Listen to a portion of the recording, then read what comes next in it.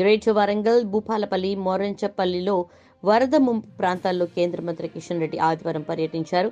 బాధితులకు నిత్యావసర సరుకులు దుప్పట్లు పంపిణీ చేశారు. రాష్ట్ర ప్రభుత్వం వద్ద జాతీయ విపత్తు నిధులు తొమ్మిది వందల పద్నాలుగు కోట్ల వరకు ఉన్నాయన్నారు. రెండు వేల ఇరవై ఒకటి ఇరవై రెండు సంవత్సరం వరకు ఏడు వందల ముప్పై ఆరు కోట్లు రెండు వేల ఇరవై రెండు ఇరవై మూడులో నూట డెబ్బై ఎనిమిది కోట్లు రెండు వేల ఇరవై మూడు ఇరవై నాలుగుకి సంబంధించిన నూట తొంభై ఏడు కోట్లు ఉన్నాయన్నారు.